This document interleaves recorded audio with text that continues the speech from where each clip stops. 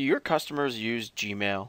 And have you always desired the ability to have a Gmail link with inside Business Catalyst?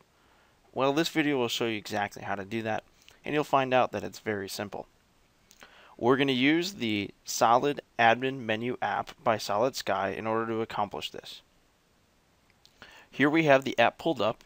All I need to do is call this Gmail, enter the URL for Gmail, and here we have the HTTPS version which is recommended and I'm going to choose my position that I'd like it and I want to put this in the ribbon up here with the rest of these guys. I'll select top and then I need to open this up in a new window because Gmail actually has it set up so that you cannot embed their mail client into another website.